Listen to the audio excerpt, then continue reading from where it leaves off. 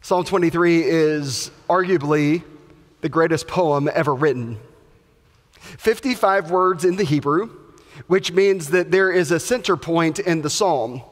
The center point in that psalm is you, referencing the Lord. Psalm 23 uh, is bookended by uh, the name of Yahweh. Yahweh only appears twice in the entire psalm. Yahweh, the Lord is at the beginning, and surely I will dwell in the house of the Lord, Yahweh, at the end. Uh, the, the psalm is written in such a way that we might see um, that God is with us in the beginning of our days, in the middle of our days, and at the end of our days. It's why um, any reference of Psalm 23, even hearing the words, the Lord is my shepherd, uh, brings back a flood of memories.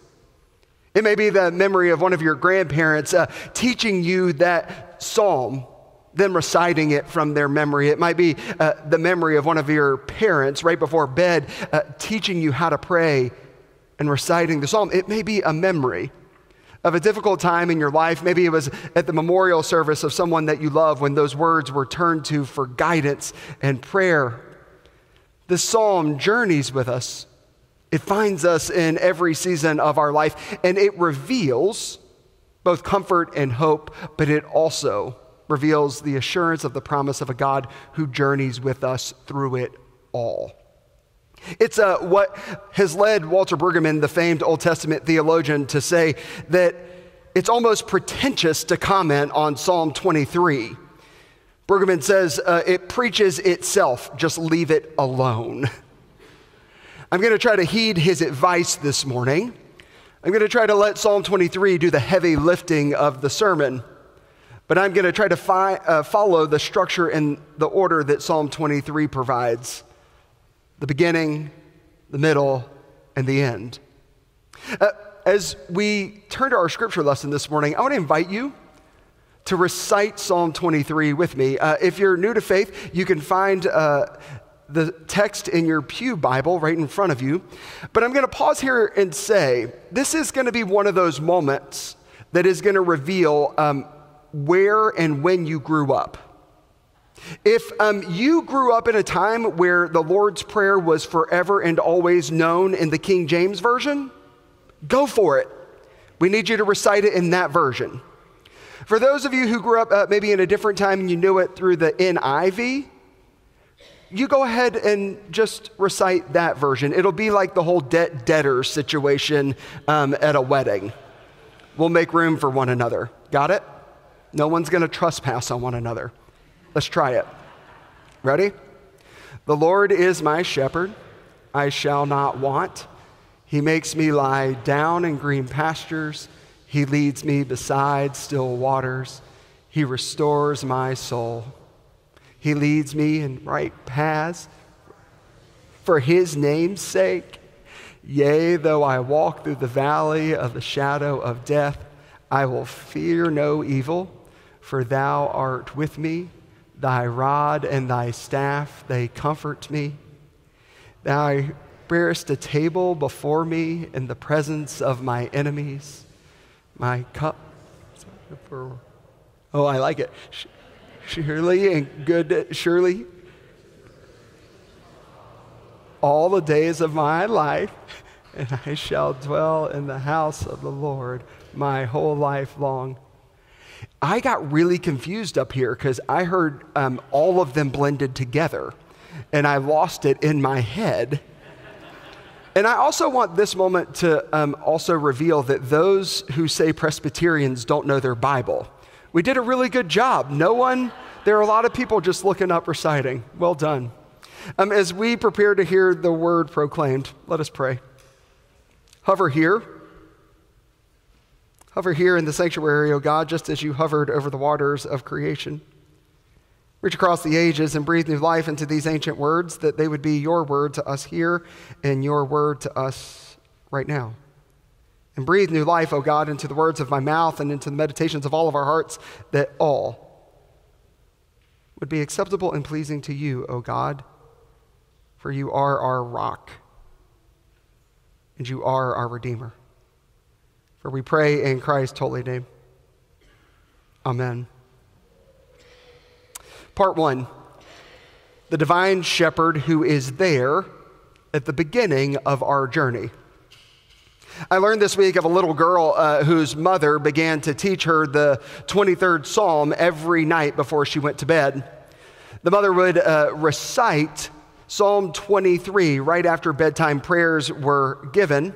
After several weeks, um, her little girl said, Mommy, I have a really important question to ask you. And the mom said, Sure, what is that? And the little girl said, Mommy, why do you say the same poem every night about a shepherd that I shall never want? And the mom said, Well, what do you mean? And the little girl replied, You have said every night, The Lord is my shepherd that I shall not want. Why do I not want this shepherd that you keep talking about? And the mom chuckled. And she said, No, honey. It means the Lord is my shepherd and I lack nothing. Maybe you'll understand a bit more when you're older. I have to tell you, I love the little girl's question because um, it reveals in the beginning that if we uh, grow up in a stable and a safe environment, much of our early days are spent building a sense of independence that is essential to our maturation. I mean, we want to do it our way. Especially as Americans, uh, we can um, have a great sense of value on being able to do things ourselves, to be independent. We don't need anyone's help. One of the Ruffner children was known to say it this way about a thousand times a day I do it myself. They didn't want anyone's help for anything. In the beginning, in the earliest stages of our uh, development, spiritual, emotional, physical development, the idea of a shepherd that is walking with you, guiding you, and creating places of transformation can sound almost suffocating. It can sound almost more like a nuisance than a word of comfort. But the shepherd, is with us from the beginning of our days, even if we're totally unaware of the shepherd's presence, and even if we want nothing to do with the shepherd. The shepherd, from the beginning, wants everything to do with us. Part two the divine shepherd who is with us in the middle of our journey.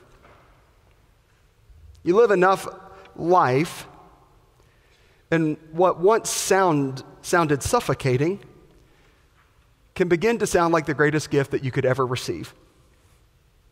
I grew up uh, Presbyterian, First Presbyterian Church, Aiken, South Carolina. And I'm sure that uh, Psalm 23 was uh, read aloud from the pulpit or the lectern uh, throughout my childhood. But I have to tell you, um, I will never forget the first time I really heard Psalm 23. One of my uh, friends recited it aloud. I have no idea what prompted him to do so. We were on a hike in Hitchcock Woods, and he recited it from the old English from the King James. And when he got to, and yea, though I walk through the valley of the shadow of death, I fear no evil, for thou art with me, I have to admit that I was utterly spellbound. The King James took my breath away.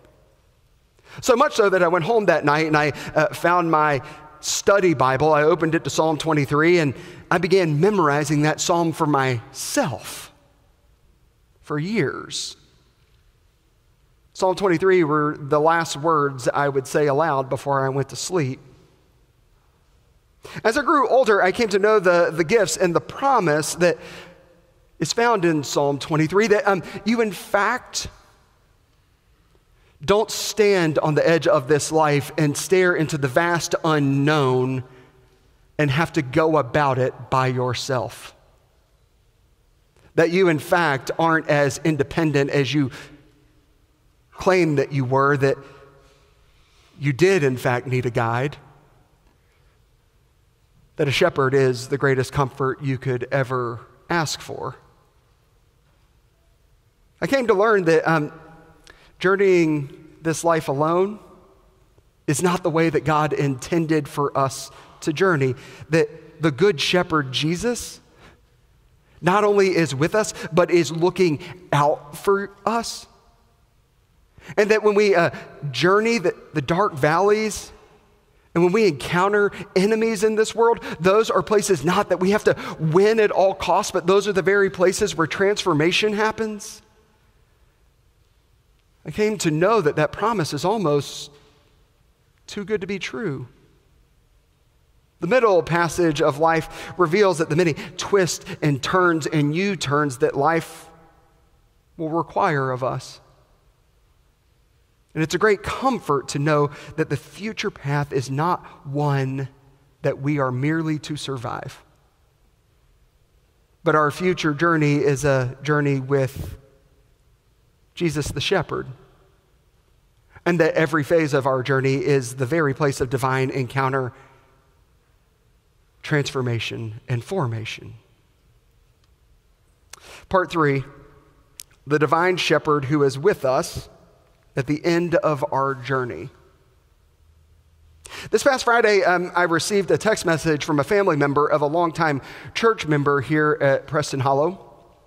She wanted to know if I could uh, come by and visit. Her mom had been under hospice care for the last several months, and uh, she sensed that her mother was beginning to make that transition uh, in that liminal space between this world and the next. She asked if I could uh, just pop by, visit, have a quick prayer? I said, Absolutely. As we uh, gathered around the bed, uh, we began to talk uh, about 98 years of life. And the 23rd Psalm came up. And she said, You know, my mom had a holy trinity in her life. Every day of her life, she would recite Psalm 23, the Serenity Prayer, and a prayer from Thomas Merton every day of her life. We began um, to recount stories of what 98 years of life revealed. We began to laugh and we began to cry, even at one point, sort of startling everyone in the room with our laughter. As we uh, knelt our heads to pray,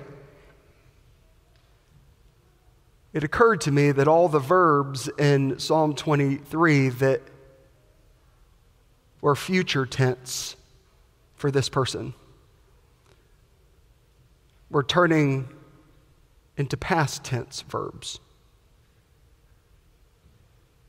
That we could see at the end of this person's life the promise of God that had been present with her every day of her life. It was true in the beginning, it was certainly true in the middle but it was at the end that we could see it.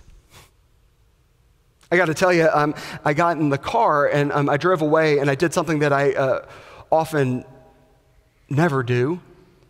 I turned the radio off and I drove, drove home in silence, buoyed by that sense of uh, holiness, of awe and wonder of what it was like to straddle that liminal space. And as I drove back to my house, it occurred to me that we don't have to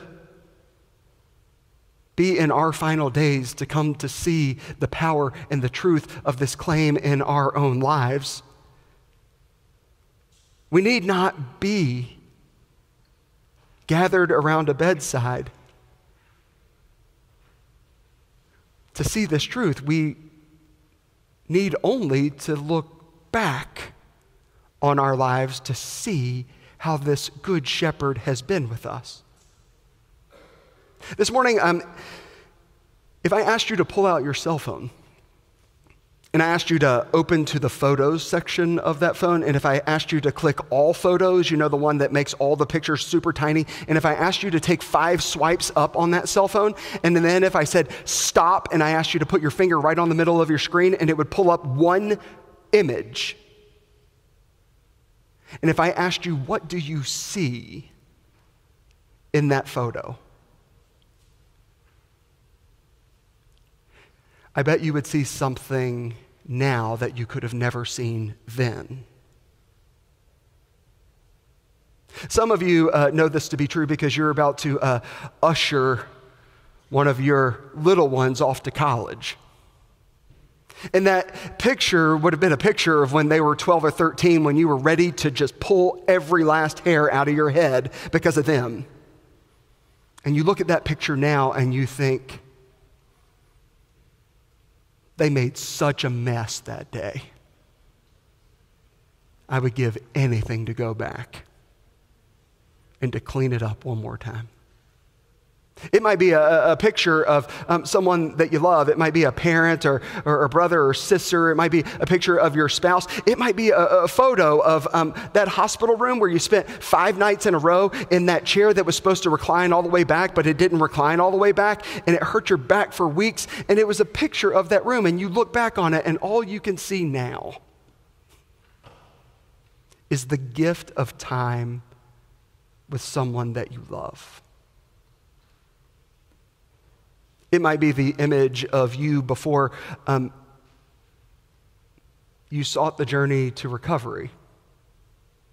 And you look back on that image, and all you can see is a person who was trying to hold their life together and keep it together at all costs. And you can look back on that image and you can think, I was powerless then. Powerless now. I'm just aware of it. I'm so grateful. It might be the um, picture of a plate of food at a restaurant on a Tuesday night. And in that plate of food, you might see that that table was the joyful feast of the people of God, that it was at that table where bread was broken and cup was poured out, that you knew the holy Eucharist of what it means to share life with one another. I don't know what that image in your phone would be, but I do know this, my dear friends. Looking back, you would see the promise of a shepherd who had been with you the whole time. This week, I want to invite you um, to do that exercise. I want you to take your phone and I want you to swipe through and select a picture every day, a different picture. And then I want you to uh, go to the text and I want you to change all of the verbs in Psalm 23 to past tense. And I wonder what you might see.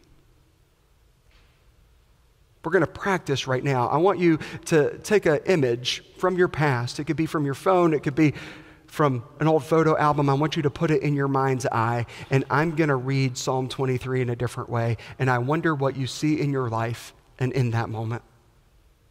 The Lord was my shepherd. I was actually never lost. I never wanted for a thing. In fact, I lacked nothing.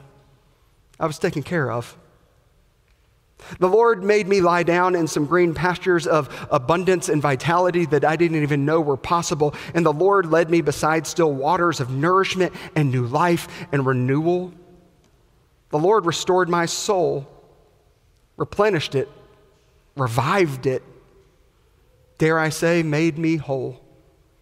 The Lord led me in paths of righteousness, of virtue. My life took on a greater purpose than its own in His name's sake. And yeah, I walked through the valley of the shadow of death, and turns out I had not a thing to fear because I learned that God was not only with me, but God went before me. And when I stumbled into that dark valley, God was the one who caught me when I fell in.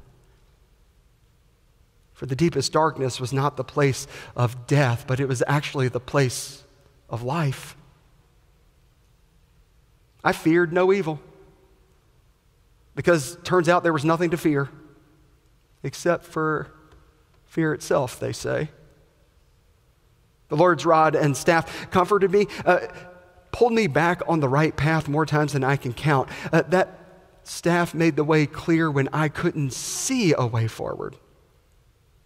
The Lord prepared a table before me in the presence of my enemies. I mean, the walls that I thought were permanent that meant that I could never be in relationship or I could ever love again, those walls were broken down like bread broken at this table. And it was at the table in the presence of my enemies that my eyes were opened to your presence, O oh God. And it showed me time and time and time again that we do belong to one another.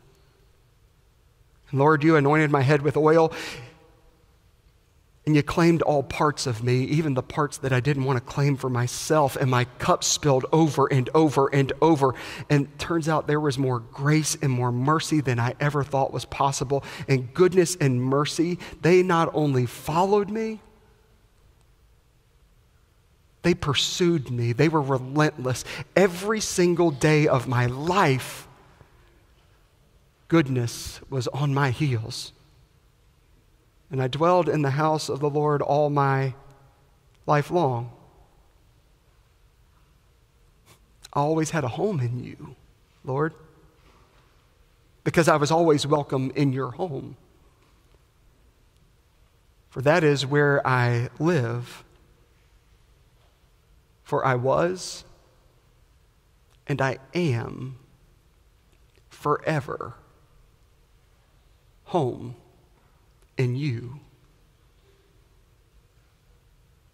Looking back on it from the ending, we can see what has been true with us from the very beginning that the divine shepherd has been with us and will guide us and accompanies us our whole lives long. May we begin to walk into this week with a new awareness so that we might see the Good Shepherd and trust that He is with us now. Will you pray with me? Awaken us, O God, to your presence